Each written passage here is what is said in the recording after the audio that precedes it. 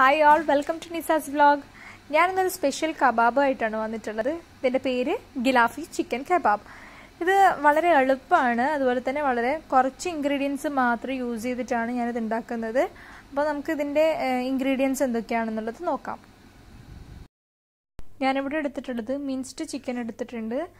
Minced chicken എന്ന് പറയുമ്പോൾ നമുക്ക് വാങ്ങിക്കാൻ കിട്ടും. മിൻസ്ഡ് മിൻസ് ചെയ്ത ചിക്കൻ തന്നെ. അല്ലെങ്കിൽ നമ്മൾ ചിക്കൻ ബ്രസ്റ്റ് വാങ്ങിച്ചിട്ട് അതിലൊരു പീസ് നല്ലപോലെ മിക്സിയിൽ അരച്ചെടുക്കണം. ഇത് ഈ ഒരു പരുവത്തിൽ അരച്ചെടുക്കുന്നതാണ് മിൻസ്ഡ് ചിക്കൻ എന്ന് പറയുന്നത്. പിന്നെ നമുക്ക് വേണ്ടുന്നത് പിന്നെ ക്യാപ്സിക്കം വേണം കുറച്ച്. അതുപോലെ തന്നെ കുറച്ച് ഫ്രഷ് ക്രീം വേണം.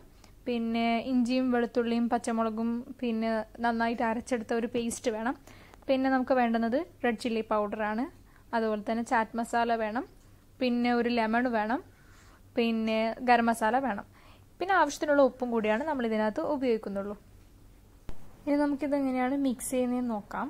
അപ്പോൾ നമ്മൾ ഫസ്റ്റ് സ്റ്റെപ്പ് എന്ന് പറയുന്നത് മിൻസ് ചെയ്തിട്ടുള്ള ചിക്കനെ നമ്മൾ ഒന്ന് ജസ്റ്റ് മാരിനേറ്റ് ചെയ്യുക. അതായത് ഈ അരച്ചു വെച്ചിട്ടുള്ള ഇഞ്ചിയും വെളുത്തുള്ളിയും പച്ചമുളകും ഒക്കെ കൂടിയിട്ടുള്ള പേസ്റ്റ് ചേർത്തിട്ട് നല്ലപോലെ ഒന്ന് കുഴച്ചെടുക്കണം. അപ്പോൾ എല്ലാം നമ്മൾ ഒരുമിച്ച് ഇട്ടിട്ടാണ് കുഴക്കുന്നത്. ആദ്യം ഇഞ്ചിയും വെളുത്തുള്ളിയും പച്ചമുളകും ഇട്ടു. ഇപ്പോൾ ഗരം മസാല ഇടുകയാണ് ഞാൻ.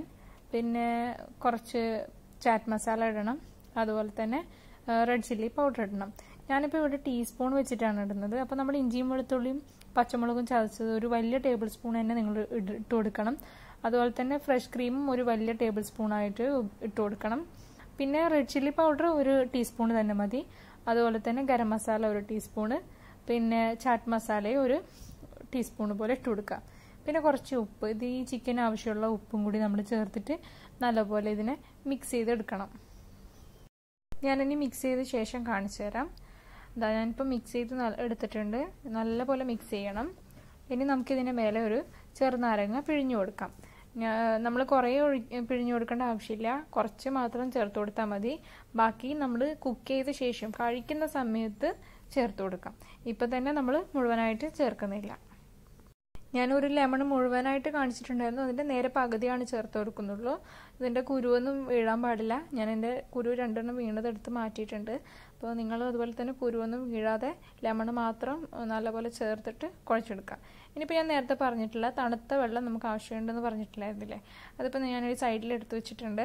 അത് നമ്മൾ ജസ്റ്റ് കൈ ഒന്ന് ഡിപ്പ് ചെയ്തിട്ട് ഈ പിന്നെ മിൻസ് ചെയ്ത് വെച്ച ചിക്കന്റെ മിക്സ് നമ്മൾ കബാബിന്റെ ഷേപ്പിലേക്ക് റോൾ ചെയ്തെടുക്കുന്നതിന് വേണ്ടിയിട്ടാണ്. അങ്ങനെ നമ്മൾ തണുത്ത വെള്ളത്തിൽ പിന്നെ കൈ ഒന്ന് ഡിപ്പ് ചെയ്ത ശേഷം ഇങ്ങനെ റോൾ ചെയ്യുമ്പോൾ അത് നമ്മുടെ കയ്യിലൊന്നും ഇങ്ങനെ ഒട്ടിപ്പിടിക്കില്ല.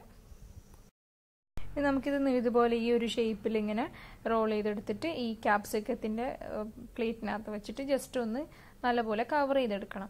ഇങ്ങനെ സ്പീഡിലെടുത്ത് കവർ ചെയ്യാൻ പാടില്ല. നമ്മുടെ കബാബ് പൊട്ടിപ്പോകും കാരണം ചിക്കൻ വളരെ സോഫ്റ്റ് ആയിട്ട് കിടക്കുന്നതാണ്. അപ്പം നമ്മളിങ്ങനെ എല്ലാ ചിക്കന്റെ കബാബും റോൾ ചെയ്ത് വെച്ചിട്ടുണ്ട്. അതുപോലെ തന്നെ ക്യാപ്സിക്കത്തിൽ അത് നന്നായിട്ട് കവർ ചെയ്തിട്ടുണ്ട്. ഇനി നമ്മളിതിനെ ഫ്രൈ ചെയ്യാൻ പോവാണ്. ഞാനിനി ഒരു പാന് ഇവിടെ ചൂടാക്കാൻ വെച്ചിട്ടുണ്ട്. ഇനി ഈ പാന് നല്ലപോലെ ചൂടായിട്ടാകുമ്പോൾ നമ്മൾ ഈ ഫ്രൈ ചെയ്ത് സോറി കവർ ചെയ്ത് വെച്ചിട്ടുള്ള ചിക്കന് ഈ പാനിനകത്തോട്ട് ഇട്ടിട്ട് ഫ്രൈ ചെയ്തെടുക്കും. അപ്പോൾ നമുക്ക് കുറച്ച് ഓയിൽ ഒഴിച്ചു കൊടുക്കാം.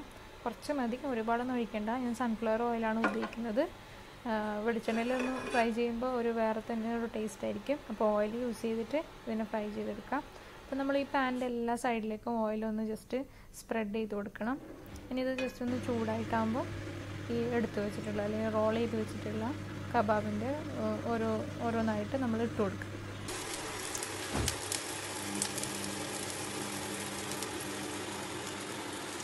ഇങ്ങനെ ഇനി എല്ലാ കബാബും എടുത്തിട്ട് നമ്മൾ ഈ ഓയിലിൽ വെച്ച് ഫ്രൈ ചെയ്യാണ്.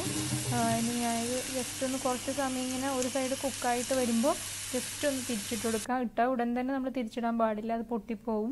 അതുകൊണ്ട് ജസ്റ്റ് ഒന്ന് കുക്ക് ചെയ്യുന്ന കുക്കാവുന്നവരെ വെയിറ്റ് ചെയ്യുക എന്നിട്ട് തിരിച്ചിടുക പിന്നെ നമ്മൾ ഇട്ടപ്പോൾ ഇട്ടപാട് തന്നെ തിരിച്ചിടുമ്പോൾ പൊട്ടിപ്പോ മാത്രമല്ല ആ ക്യാപ്സിക്കൊക്കെ അതിനകത്ത് നിന്ന് വിട്ടു വരാനുള്ള ചാൻസ് ഉണ്ട്. അപ്പോൾ ജസ്റ്റ് നല്ലപോലെ ആയിട്ടാവുമ്പോൾ തിരിച്ചിട്ട് കൊടുക്കുക. അതുപോലെ ഒരുപാട് സമയം ഒരു സൈഡ് തന്നെ വെക്കണ്ട. തിരിച്ചിട്ട് തിരിച്ചിട്ടിട്ട് നല്ലപോലെ കുക്ക് ചെയ്തെടുക്കുക നമ്മൾ ഈ ടൈമിൽ കുറച്ച് ബട്ടർ കൂടി ചേർത്ത് കൊടുക്കുന്നുണ്ട്. ആ ബട്ടറിന്റെ ഒരു ഫ്ലേവറും കൂടി അതിനകത്ത് വരുമ്പോൾ നല്ല ടേസ്റ്റ് ആയിരിക്കും. അപ്പോൾ ഒരു രണ്ട് മൂന്ന് പീസ് ബട്ടർ കട്ട് ചെയ്തിട്ട് നമ്മൾ ഇതിന്റെ മേലെയും സൈഡിലൊക്കെ ആയിട്ടൊന്ന് ഇട്ട് കൊടുക്കാം.